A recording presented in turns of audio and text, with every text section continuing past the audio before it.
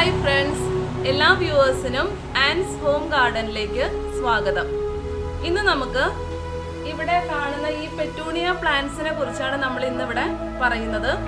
Petunia plants എങ്ങനെ propagate ചെയ്യാം അതെങ്ങനെയാണ് അതിന്റെ കെയറിങ് എങ്ങനെയാണ് അതിന് ഏതെല്ലാം തരത്തിലുള്ള വളങ്ങൾ നമുക്ക് കൊടുക്കാം ഈ കാര്യങ്ങളെല്ലാമാണ് ഈ വീഡിയോയിൽ പ്രധാനമായിട്ടും ഉൾപ്പെടുത്തിയിട്ടുള്ളത്. അപ്പോൾ എല്ലാവരും ഈ വീഡിയോ അവസാനം വരെ കാണാനായിട്ട് ശ്രമിക്കണം. ആദ്യമായിട്ട് ഈ വീഡിയോയിലേക്ക് കടക്കാം. സൗത്ത് അമേരിക്കൻ രാജ്യങ്ങളിൽ നിന്നും ഇവിടേക്ക് എത്തിയിട്ടുള്ള ഒരു പ്ലാന്റ് ആണ് പെറ്റൂണിയ. ധാരാളം പോസിറ്റീവ് എനർജി ഉള്ള സ്ഥലങ്ങളിലാണ് പെറ്റൂണിയ പ്ലാന്റ്സ് ഇതുപോലെ നല്ല രീതിയിൽ ഫ്ലവർ ചെയ്യാറുള്ളത്. പലരും ചോദിക്കാറുണ്ട് പെറ്റൂണിയ പ്ലാന്റ്സ് വീട്ടിലുണ്ട് പക്ഷെ ഒട്ടും ഫ്ലവർ ചെയ്യുന്നില്ല എന്നുള്ള ഒരു കാര്യം പലരും പറയാറുണ്ട്. അപ്പോൾ സൂര്യപ്രകാശം നല്ല രീതിയിൽ ഒരു അഞ്ച് മണിക്കൂറെങ്കിലും സൂര്യപ്രകാശം കിട്ടുന്ന സ്ഥലങ്ങളിലാണ് പെറ്റൂണിയ പ്ലാന്റ്സ് ധാരാളമായിട്ട് ഫ്ലവേഴ്സ് തരുത്തുള്ളൂ. അപ്പോൾ അതുകൊണ്ട് ആ കാര്യം എല്ലാവരും പ്രത്യേകം ശ്രദ്ധിക്കണം. പെറ്റൂണിയാസ് നമുക്ക് ധാരാളം വെറൈറ്റീസ് നഴ്സറികളിൽ അവൈലബിൾ ആണ്. Grandiflora petunias multiflora petunias milliflora petunias spreading petunias ഇങ്ങനെ ധാരാളം ഹൈബ്രിഡ് വെറൈറ്റീസ് പെറ്റൂണിയയുടെ അവൈലബിൾ ആണ്. എന്നാൽ നമുക്ക് ഏറ്റവും വീടുകളിൽ ഏറ്റവും നന്നായിട്ട് വളർത്താൻ സാധിക്കുന്ന പെറ്റൂണിയാസ് ആണ് നമ്മുടെ ഈ നാടൻ പെറ്റൂണിയാസ് എന്ന് പറയുന്നത്. സാധാരണ രീതിയിൽ നാടൻ പെറ്റൂണിയാസ് നഴ്സറികളിൽ നമുക്ക് അത്രയും അവൈലബിൾ അല്ല.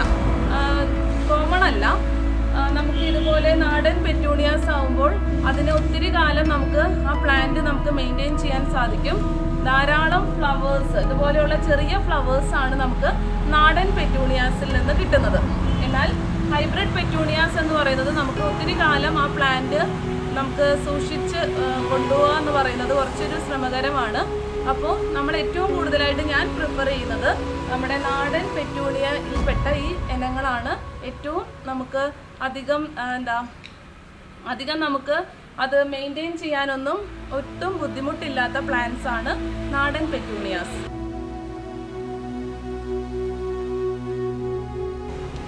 കേരളത്തിലെ കാലാവസ്ഥയിൽ നല്ല രീതിയിൽ പുഷ്പിക്കുന്ന പ്ലാന്റ്സ് ആണ് പെറ്റൂണിയാസ്. ഒരു മഞ്ഞ് സമയമൊക്കെ അതിന്റെ ഫ്ലവറിങ്ങിന് ഏറ്റവും നല്ല സമയമാണ്. അപ്പോൾ ഒരു മോഡറേറ്റ് ആയിട്ടുള്ള ടെമ്പറേച്ചർ അതായത് സൺലൈറ്റ് ആവശ്യത്തിന് കിട്ടുന്ന സ്ഥലങ്ങളിൽ പെറ്റൂണിയ പ്ലാന്റ്സിൽ നിന്ന് നമുക്ക് ധാരാളം ഫ്ലവേഴ്സ് കിട്ടുന്നുണ്ട്.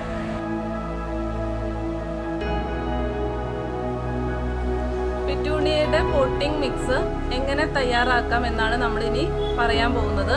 അപ്പോൾ ഇപ്പോൾ എന്റെ കയ്യിലൊരു പെറ്റൂണിയ പ്ലാന്റ് ഇരിക്കുന്നുണ്ട്. ഈ പ്ലാന്റിനെ ഞാൻ പോട്ട് ചെയ്തിരിക്കുന്നത് ഒരു സെവന്റി ഫൈവ് പെർസെന്റേജ് സോയിലും അതായത് മണ്ണും അതുപോലെ ബാക്കി ട്വന്റി ഫൈവ് പെർസെന്റേജ് നമ്മൾക്ക് അവൈലബിൾ ആയിട്ടുള്ള വളം. ഏതാണെങ്കിലും കുഴപ്പമില്ല. പെറ്റൂണിയ പ്ലാന്റിന് ഏറ്റവും നല്ല നല്ല ഗ്രോത്ത് കിട്ടാൻ ഉള്ള വളം എന്ന് പറയുന്നത് ചാണകമാണ്. ചാണകം അതുപോലെ ആട്ടുംകാട്ടം അതുപോലെ എല്ലുപൊടി ഇതുപോലെയുള്ള വളങ്ങളെല്ലാം നമുക്ക് പെറ്റൂണിയ പ്ലാന്റ്സിന്റെ ഗ്രോത്തിനായിട്ട് പ്രൊവൈഡ് ചെയ്യാം. അപ്പോൾ സാധാരണ രീതിയിൽ ഞാൻ യൂസ് ചെയ്യുന്നത് ചാണകമാണ് കൂടുതലായിട്ട്. അപ്പോൾ ഈ രീതിയിൽ പോട്ട് ചെയ്തിരിക്കുന്ന ഒരു പിറ്റൂണിയ പ്ലാന്റ് ആണിത് സെവന്റി ഫൈവ് പെർസെന്റേജ് മണ്ണും ട്വന്റി ഫൈവ് പെർസെന്റേജ് വളവും മിക്സ് ചെയ്തിരിക്കുന്ന പോട്ടിംഗ് മിക്സിലാണ് ഞാൻ ഈ പ്ലാന്റ് പോട്ട് ചെയ്തിരിക്കുന്നത്. പെറ്റൂണിയ പ്ലാന്റ്സ് പണ്ട് മുതലേ ഒരു നാലഞ്ച് വർഷമായിട്ട് കയ്യിലുള്ളതാണ്.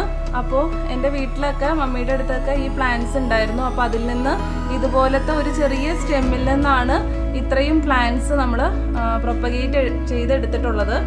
അപ്പോൾ പിറ്റൂണിയയുടെ നമ്മൾ പ്രൊപ്പഗേറ്റ് ചെയ്യുന്ന സമയത്ത് എടുക്കേണ്ട സ്റ്റെംസ് ഏകദേശം ഇതുപോലെയുള്ള സ്റ്റെംസ് ആണ് നമ്മൾ എടുക്കുക. അതായത് ഈ പ്ലാന്റിൽ നിന്ന് വരുന്ന പുതുതായിട്ട് പൊട്ടി വരുന്ന ആ സ്റ്റെംസ് ആണ് പെട്ടെന്ന് റൂട്ട് പിടിക്കാനായിട്ട് നല്ലത്.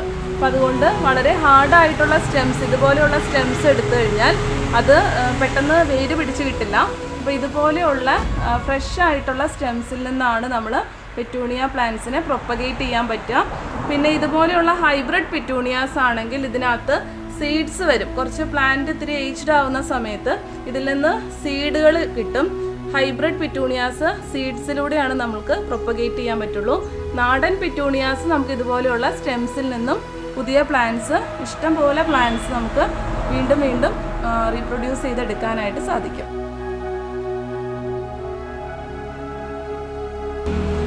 ഇപ്പോൾ നിങ്ങൾ ഈ കാണുന്ന പ്ലാന്റ് ഒരു ടു വീക്സ് പ്രായമായിട്ടുള്ള പ്ലാന്റ് ആണ്. അപ്പോൾ ഈ പ്ലാന്റിൽ നിന്നും ഫ്ലവർ വന്നിരിക്കുന്നത് നമുക്ക് കാണാം. അപ്പോൾ നമ്മൾ ഈ പ്ലാന്റ് പ്രൊപ്പഗേറ്റ് ചെയ്യുന്ന സമയത്ത് അതായത് ഈ എടുത്ത് സ്റ്റെം എടുത്ത ഫ്രഷ് സ്റ്റെം എടുക്കുന്ന സമയത്ത് ഒരു മുട്ട വന്നിട്ടുള്ള സ്റ്റെംസ് ആണെങ്കിൽ അത് പെട്ടെന്ന് തന്നെ നമുക്ക് അതിൽ നിന്ന് ഫ്ലവർ സാധാരണ രീതിയിൽ കിട്ടാറുണ്ട്. ഒരു ടു വീക്സ് പ്രായമാകുമ്പോൾ തന്നെ പെറ്റൂണിയ പ്ലാന്റ്സ് ഫ്ലവർ ചെയ്ത് തുടങ്ങാറുണ്ട്. ചില സാഹചര്യങ്ങളിൽ അത് അതിന് ആപ്റ്റായിട്ടുള്ള വളവും എല്ലാം കിട്ടുന്ന സമയത്ത് ടു വീക്സ് ആണ്. അല്ലെങ്കിൽ വൺ മന്തിനുള്ളിൽ എന്തായാലും പെറ്റൂണിയ പ്ലാന്റ്സ് ഫ്ലവർ ചെയ്ത് തുടങ്ങും. പെറ്റൂണിയ പ്ലാന്റ്സ് ഇതിപ്പോൾ നാടൻ പെറ്റൂണിയ പ്ലാന്റ്സ് ആണെങ്കിൽ ഒരു ത്രീ ഫോർ ഡേയ്സ് ഒക്കെ ഈ ഫ്ലവർ ഇതുപോലെ നിൽക്കാറുണ്ട്. ഇപ്പോൾ ഇത് ഒരു രണ്ട് ദിവസം മുമ്പ് വിരിഞ്ഞൊരു ഫ്ലവറാണ്. ഈ ഫ്ലവറിന് വിരിഞ്ഞ് വരുമ്പോൾ തന്നെയുള്ള കളറ് ഇത്രയും കുറച്ച് ഡീപ്പായിട്ടുള്ള ഒരു പിങ്ക് കളറാണ്. പിന്നീട് ആ ഫ്ലവറിന്റെ കളറ് ചേഞ്ച് ചെയ്യുന്നതായിട്ട് നമുക്ക് കാണാം. കുറച്ചൊരു ലൈറ്റ് ഷെയ്ഡിലേക്ക് വരുന്നുണ്ട്. അതുപോലെ ഹൈബ്രിഡ് പിറ്റൂണിയ പ്ലാന്റ്സ് ആണെങ്കിലും കുറച്ച് കൂടുതൽ ദിവസം നിൽക്കുന്ന പ്ലാന്റ്സ് ആണ് ഈ ഹൈബ്രിഡ് ഫ്ലവേഴ്സ്. അപ്പോൾ ഈ ഫ്ലവേഴ്സിനും നിങ്ങൾക്ക് കണ്ടാൽ അറിയാം ഇത് വിരിഞ്ഞ് വരുന്ന സമയത്ത് നല്ല കോൺട്രാസ്റ്റിംഗ് കളറാണ് പിന്നീട് അതിന്റെ കളറ് ചേഞ്ച് ചെയ്ത് ലൈറ്റ് ഷെയ്ഡിലേക്ക് പോകുന്നതായിട്ട് കാണാം. ഈ ഫ്ലവേഴ്സൊക്കെ ഒരു വൺ വീക്ക് ഈ ഫ്ലവേഴ്സ് ഇതുപോലെ നിൽക്കുന്നുണ്ട്. പെറ്റൂണിയ പ്ലാന്റ്സിന് നല്ല രീതിയിൽ നനവ് ആവശ്യമായിട്ടുള്ള പ്ലാന്റ്സ് ആണ്. ഞാൻ രാവിലെയും വൈകുന്നേരവും കൃത്യമായിട്ട് വെള്ളം ഒഴിക്കാറുണ്ട്. വെള്ളം ഒഴിക്കാതെ വരുമ്പോൾ അതിന് പെട്ടെന്ന് ലീവ്സൊക്കെ വാടി പോകുന്നതായിട്ട് നമുക്ക് കാണാൻ പറ്റും. അപ്പോൾ നല്ല രീതിയിൽ വാട്ടറിങ് ആവശ്യമായിട്ടുള്ള പ്ലാന്റ്സ് ആണ് പെറ്റൂണിയ. പെറ്റൂണിയ ഒരു സീസണൽ പ്ലാന്റ് അല്ല. എല്ലാ സീസണിലും നമുക്ക് പെറ്റൂണിയ പ്ലാന്റ്സ് പ്രൊപ്പഗേറ്റ് ചെയ്യാനും നല്ല രീതിയിൽ വളർത്തി ഫ്ലവർ ചെയ്ത് എല്ലാം കിട്ടുന്ന പ്ലാന്റ് ആണ്. പെറ്റൂണിയ പ്ലാന്റ്സ് നമുക്ക് ഇതുപോലെ ഹാങ്ങിങ്സ് ആയിട്ട് പ്ലാന്റ്സ് ഇടാം. ഒപ്പം നമുക്ക് ചട്ടികളിലും പ്ലാന്റ് ക്ലൈംബ് ചെയ്തും പെറ്റൂണിയ പ്ലാന്റ്സ് വളർത്തിയെടുക്കാം. അപ്പോൾ ഒരു സപ്പോർട്ട് കൊടുത്ത് നമുക്കതിനെ ഇതുപോലെ ഒന്ന് പതുക്കെ കെട്ടിവെച്ച് നമുക്ക് ഇഷ്ടമുള്ള രീതിയിൽ പ്ലാന്റ്സ് അറേഞ്ച് ചെയ്യാനായിട്ട് സാധിക്കും. പെറ്റൂണിയ പ്ലാന്റ്സിന് കീടങ്ങളുടെ ആക്രമണം ചെറിയ രീതിയിൽ ഉണ്ടാവാറുണ്ട്. അതായത് ഇപ്പോൾ ഈ വെള്ളീച്ച പോലെയുള്ള പ്രാണികൾ ആക്രമണം സാധാരണ ചില സമയങ്ങളിൽ വരാറുണ്ട്. കോമൺ അല്ല.